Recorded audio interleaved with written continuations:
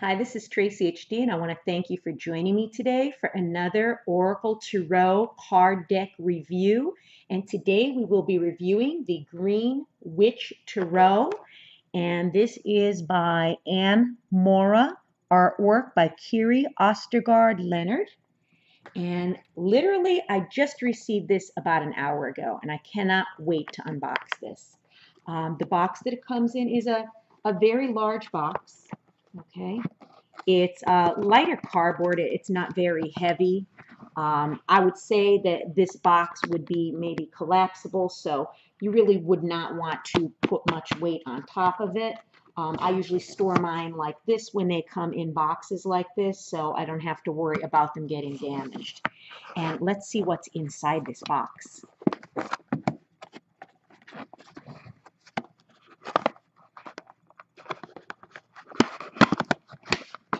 And the box opens from the top.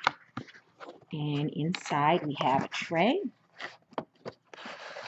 Okay, slide this out.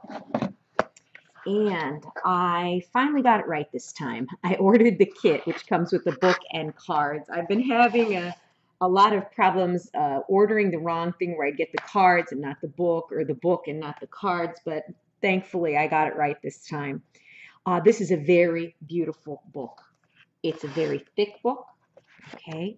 It's a glossy cover, okay? Beautiful blue, a beautiful mysterious picture. Um, and inside the book, you're going to have about the artist, okay, and of course about the author as well. And it's going to tell you other books by Ann Moura. You're going to have your table of contents an introduction, a brief history of Tarot, and it's going to tell you how to perform a, a tarot reading, consecrating your tarot deck, grounding yourself, how to begin the reading. Very nice. And then chapter one goes right into the major arcana. And there's room here for notes, which is very nice. Okay, so we're going to get a picture, okay, of the card and then it's going to tell us the meaning of the card. Again, we have a picture, and then of course the High Priestess. So going back here, I think I may have skipped. Yes, here we are. The first uh, card is the Green Man. It's a card number zero, so it would normally be the Fool in a traditional tarot deck. And then we have number one, the Witch, um, so actually this would be the magician.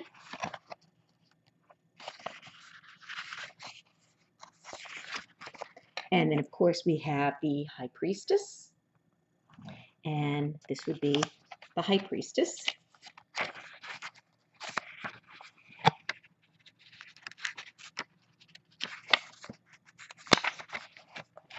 And we have three, Earth Mother.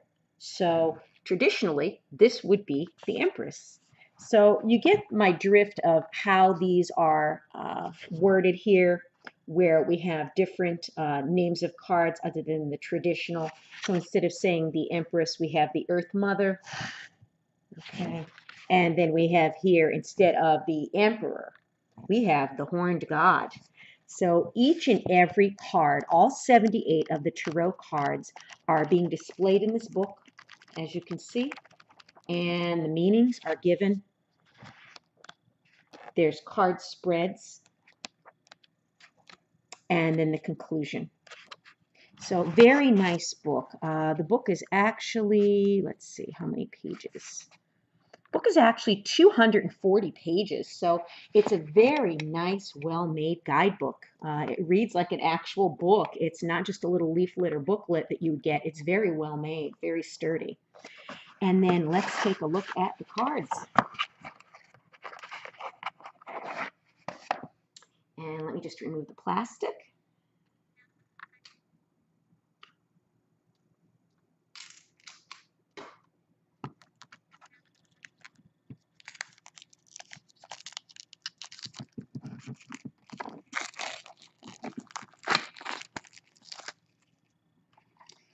And oh, how beautiful is that? This is the back of the card. and it's a beautiful, beautiful, looks like a, a door. It's wooden with the wreath hanging on it, with the red roses circling it. Oh, beautiful. Absolutely gorgeous colors. And the red really pops. The red really, really pops. And I love the shade of green in the background. And the cards are average size card, not too big, not too small. Okay. And um, they're a little thinner, um, but I'm sure they'll be durable. Uh, they're a semi-gloss finish to them. And let's see how they shuffle. Very easy to shuffle. And let's take a look at the cards. Here we have the Eight of Pentacles. The Nine of Pentacles. The Ten of Pentacles. And I love the involvement of a lot of floral. Uh, here we have uh, herbal. This looks like it could be maybe uh, maybe heather. Uh, pots of green plants. Here we have one outside the door. And the artwork is very, very colorful. Very vibrant. The red, again, seems to really pop. Page of Pentacles. Knight of Pentacles, Queen of Pentacles,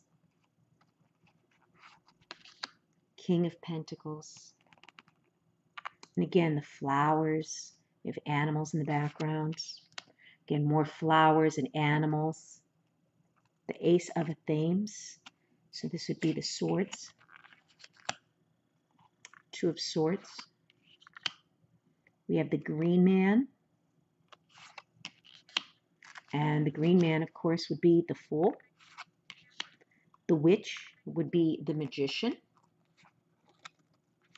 High priestess is the high priestess. The earth mother, which would be the empress. The horned god, which would be the emperor. The high priest. The lady and the lord, which would be the lovers. The battle wagon, which would be the chariot the crone, which would be strength. This is a beautiful, beautiful card. Hope the camera's picking up on the beauty of all of the artwork. This is so mysterious and enchanted, and I love the fact there's snow. Um, it's dark. He's holding the lantern, the Holly King, the Wheel of the Year, the Standing Stone, the Oak King. And of course, we do have numbers on these cards. This is 13, the Lord of Shadows.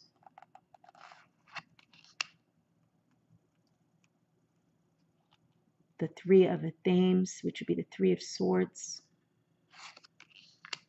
Four of Athames, which would be the four swords in the background.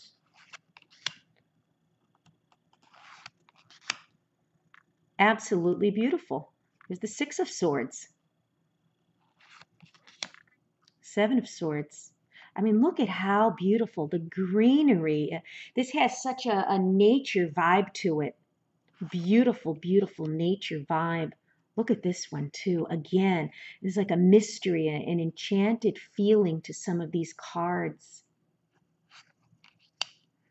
The Nine of Swords. Look at the sorrow on this woman's face, the energy from each of the characters on these cards is really phenomenal. The Ten of Swords. Look at how sad she is kneeling on the ground by the fire. We have animals here once again. There's an owl here for the Page of Swords. The Knight of Swords. The Queen of Swords. The King of Swords. Then we get into the Ace of Wands, Two of Wands, Three of Wands, Four of Wands, Five of Wands, Six of Wands, Seven of Wands, Eight of Wands. Just the nature is so present in, in all of these cards. Nine of Wands. Ten of Wands. We have a squirrel here. Page of Wands. We have the donkey. The Knight of Wands on their horse. Queen of Wands. There's a bird in the tree. King of Wands. Ace of Chalices. We have the Ace of Cups. Two of Chalices, Two of Cups. Three of Chalices. And it's very similar to a traditional tarot, some of these pictures, like this one where there's the three women gathering in a celebration. We have the Four of Chalices, Five of Chalices, Six of Chalices, Seven of Chalices, Eight of Chalices, Nine of Chalices, Ten of Chalices, Page of Chalices, Knight of Chalices, Queen of Chalices, King of Chalices. Just beautiful, beautiful cards. Look at the tower. It's called the Wild Hunt. Card 16, the Wild Hunt. And look at the energy. The energy. There's just like flames and, and smoke and coming out of the, the window and it's toppling over. And up here you have these people in battle. Uh, very, very interesting. The star. How magical is that? She's in the forest and the trees and the stars are shining brightly. That is a beautiful picture. The moon, and look at that. And it's casting a shadow on the water, and she's standing there in the evening. The sun, we have all the sunflowers here, and the sun is shining bright. And again, you know, a lot of greenery, a lot of flowers and plants and animals in these cards. Harvest, the world tree, Ace of Pentacles, Two of Pentacles, Three of Pentacles, Four of Pentacles, Five of Pentacles, Six of Pentacles. These are great cards for a beginner because there is a, a, guidebook that will explain to you the different meanings. It may be a little challenging if you're not familiar with Tarot or ever read Tarot, but it is doable because the guidebook is a very nice book. Uh, these would be great for a professional card reader as well. I'm very happy that I purchased these cards. These are going to be a welcome addition to my growing uh, tarot deck collection. I love everything about them. Beautiful, amazing, amazing artwork. If you've enjoyed this review, please subscribe to my channel because I will be back.